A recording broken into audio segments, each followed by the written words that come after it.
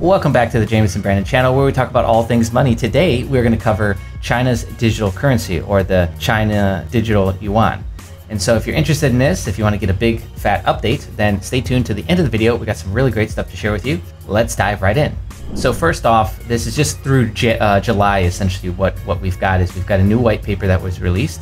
I'll show you that. We've got their trial um, expanding to 10 million eligible users. There's a total of 21 million users with some sort of a digital wallet in China. So this is pretty good. They're almost at like 50%, um, which is really, really good news for them. July 8th, that was uh, published. And then on July 16th, we have uh, their trial has reached $5.3 billion in transactions, which is, you know, nothing to scuff at. That's really, really good. Here is the latest. I will link this below. It's a 16 page report talking about the ECNY and its development. So let's take a trip back down memory lane here because I'm, I'm, sure a lot of people don't realize this is that they started researching this and started this whole project in 2014 when they saw the success of Alibaba and Tencent and other companies and brands like that.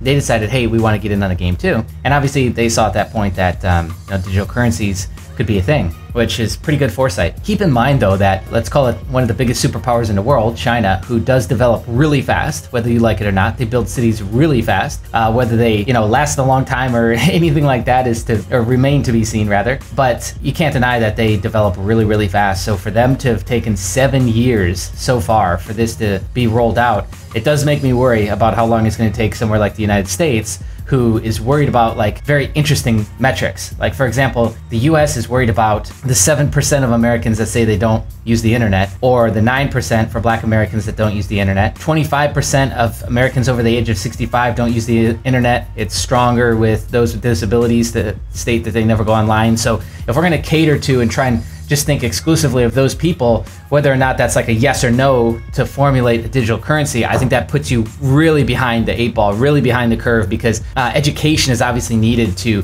increase you know usage of something like the internet which is kind of crazy to anyone outside of those age brackets and those uh, you know that has a disability to be talking about the internet like that because uh, it's so integrated with our everyday life. But nonetheless is I think the US is definitely fighting an uphill battle with their digital currency and they're what it appears to be six or more years behind. Trials of the digital yuan began in May of 2020 in four cities. I'll just put those on the screen, not even going to try and pronounce them. Um, some of them were near Beijing, so we're talking about like, you know, not obscure cities, but near the, the heart of the country. Okay, some of the brands that were included were Starbucks, McDonald's, Subway. Under the trial, Communist Party members were allowed to pay their membership fees through one of the banks. The digital yuan was used to pay half of travel subsidies subsidies owed to public servants. Chinese ride hailing giant uh, Didi, uh, won't even try and pronounce that, said in July 2020 that it had entered into a strategic partnership with the central bank over the digital currency plan. The Bank of China, China uh, Construction Bank, and the Industrial and Commercial Bank of China and the Agricultural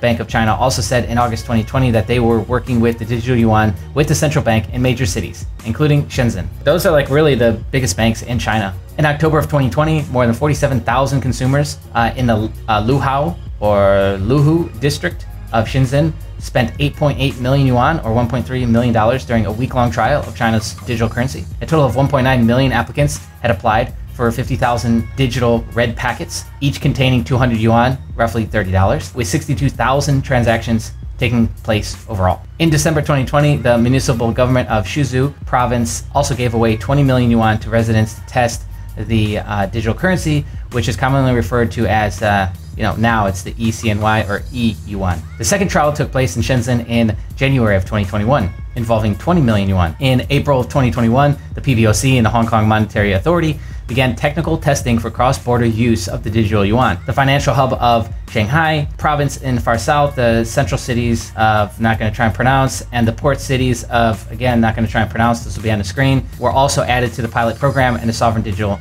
yuan. International collaboration has also been accelerated between China's central bank and its counterparts in Thailand and uh, the UAE. In April 2021, uh, Macau chief executive Ho Iat Seng told lawmakers that the government planned to amend laws to regulate the issuance of virtual legal tender. Macau is seeking to better combat money laundering and tax evasion in the world's biggest gambling hub, obviously, and so they are studying feasibility right now. In April 2021, the new deputy governor of the PBOC confirmed that moving forward, we don't have a timeline for rolling out the digital uh, currency nationwide. But we know what we need to do. There are several things we need to do before we can roll out the digital currency nationally.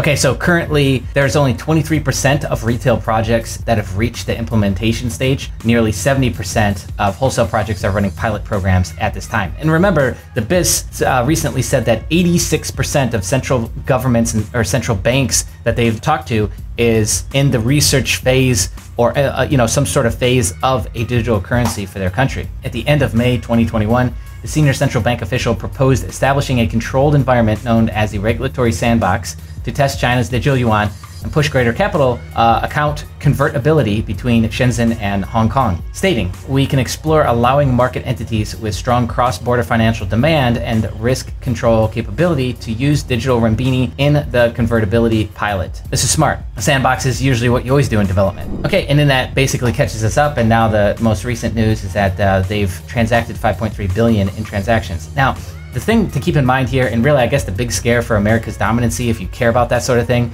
is that once this is all launched, they're going to take this online and they're going to really use it with their shipping partners and their uh, import export. And I think that's when things are really, really going to take off. So if there's any scare of like the US losing its dominance, it's because it'll be so easy for businesses and countries that already do business with China to now convert to this digital platform all done for the most part online, easier to track, you know, and so a lot of the issues and red tape that they have to deal with with just clearing payments and getting cross-border payments done, I see that as being really one of the big bullets in in the gun on that one.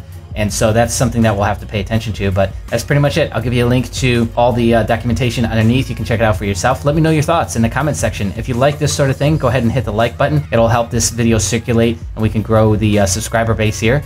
And uh, obviously, you'd be helping out a friend and sharing something that you think they would like. If you're brand new here and you like this, go ahead and subscribe, hit the bell notification, be on the lookout, more videos coming soon.